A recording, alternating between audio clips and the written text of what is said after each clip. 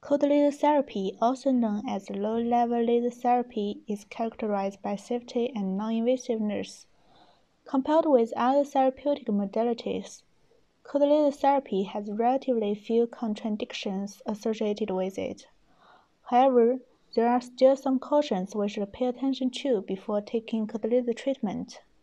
Do not perform laser therapy on a site of any known primary carcinoma or secondary metastasis.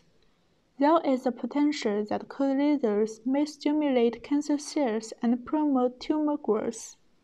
However, there are two special cases where laser therapy can be used in cancer patients with approval from oncologists or primary physicians.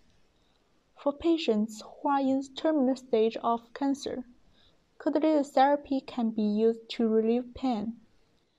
As for cancer patients who are undergoing chemotherapy, immunotherapy, or radiation therapy, laser therapy can be applied to reduce the side effects of these therapies. Researchers observed cell damage in chicken embryos after irradiation with cold lasers through the opening in eggs. However, it is important to keep in mind that the dosage of laser irradiation is very high to chicken embryos if the size and weight of the eggs are considered. With little research done in this area, there is no documentation indicating the damaging effects of therapy on human embryos. For safety, we do not recommend pregnant women taking laser treatment. Therapy should not be used while there is active bleeding because of its vasodilatory effect. Laser therapy stimulates blood cells and improves blood circulation, leading to more severe bleeding.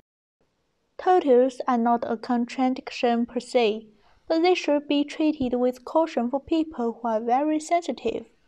The pigments of the tattoos will absorb the laser light and the area could turn warm and painful.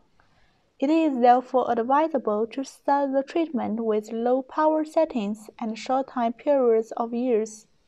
Then make the adjustments based on feedback from the patients.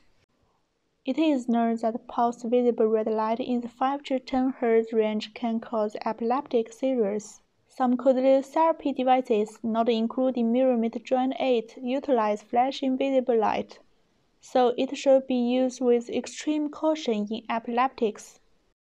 It is also worth noting that some contraindications are assumed to be relative rather than absolute.